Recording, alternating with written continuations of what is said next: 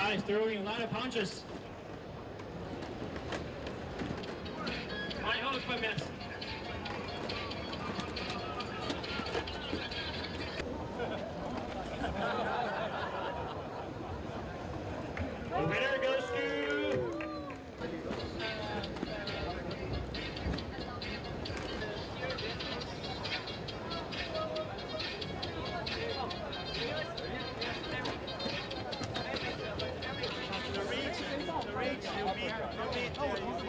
What you're seeing in the ring is our best-selling humanoid robot, uh, Unitree G1. Um, as you can see, the, it, it has human-like movements, and it, co- it can also dance, uh, do kung fu moves, and as you can see, it's kickboxing right now in the ring.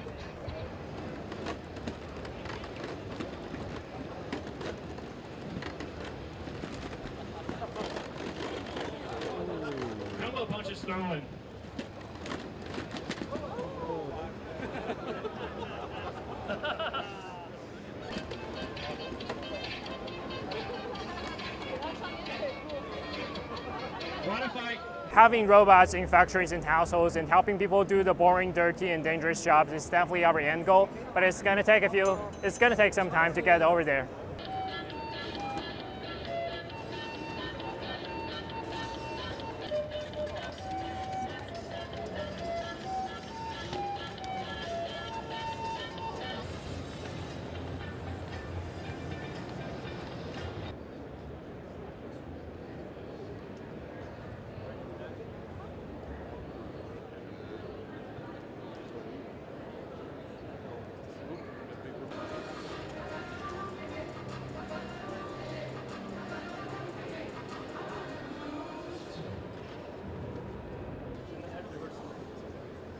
Uh, yeah, so they'll, they'll be talking later.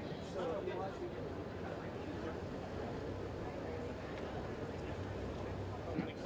Yep.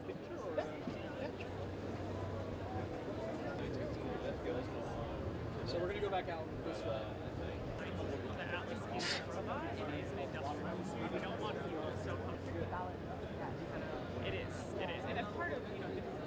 Atlas is designed to be an industrial robot.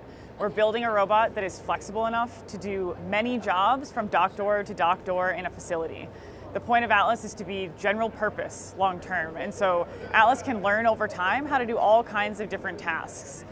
Here today, we're showing Atlas doing an automotive task first. We're showing it doing sequencing, which is a task that's done in logistics facilities in automotive plants.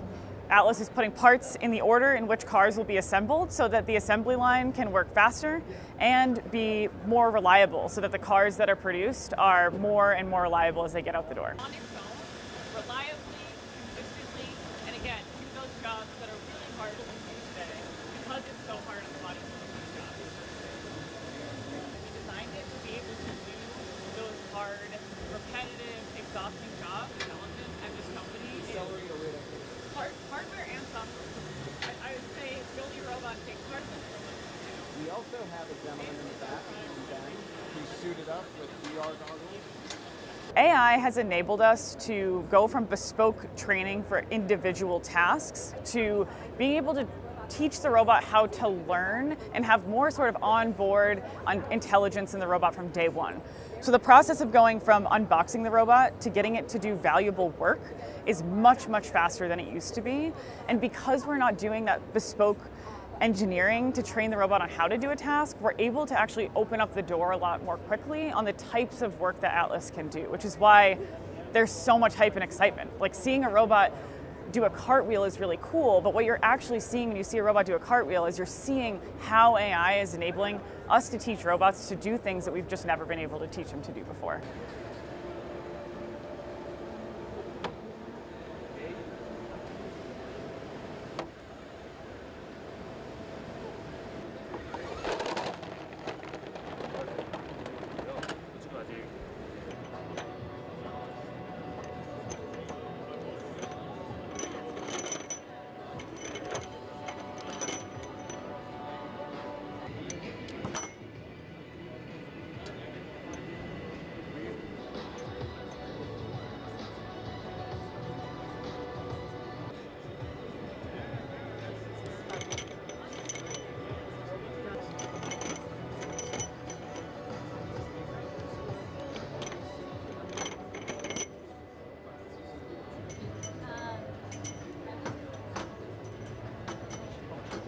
Our first focus in industrial, and we already have signed around 25,000 pre-orders uh, from retail, warehouses, uh, automotive industry, oil and gas, uh, and this is like a huge uh, labor shortages and uh, like uh, a lot of like millions of essential jobs like remain unfulfilled, and young people don't want to work in warehouses with this boring, repetitive stuff, and this is a work for robots, not for humans.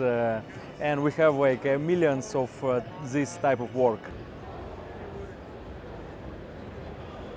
Hey there, I am Aria from Realbotix. Je regroupe qu'on a vu juste avant et euh, la dextérité. Ah bah non, c'est l'inverse. Ah, faut servir plus aux fabricants pour faire de l'accueil pour les entreprises, pour faire de l'accompagnement. Je sur ça.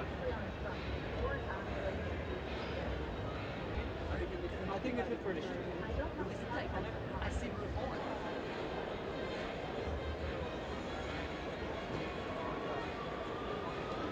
There's been a convergence in technology. We've had AI for a few years, and we've had sort of uh, what I would call unintelligent robots for many years. And now they finally have sort of combined those technologies where you get what we're presenting, which is an AI-powered humanoid robot. And occasionally causing existential crises. every selfie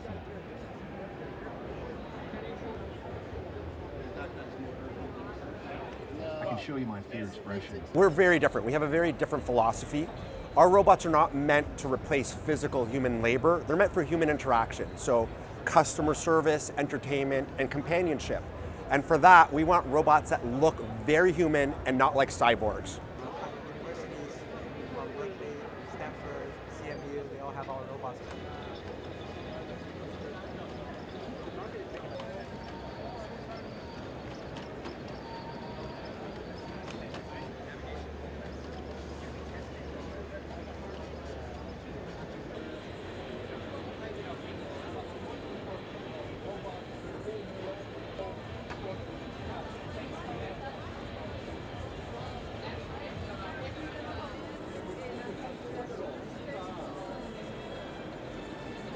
Many of these robots, what we see here, they cannot actually do useful things. They can dance, they can kickbox, they can do uh, flip backs, yeah.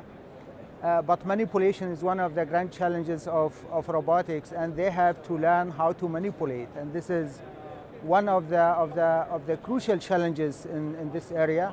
In addition, of course, to safety. Nobody is talking about uh, the safety of the use of humanoid robots for example, in collaboration with humans in manufacturing or, or at home. And um, finally, maybe really the, the, the architecture, the cognitive architecture for this kind of embodied AI. AI which integrates body, mind, and interaction with the environment. And this is what we are still missing.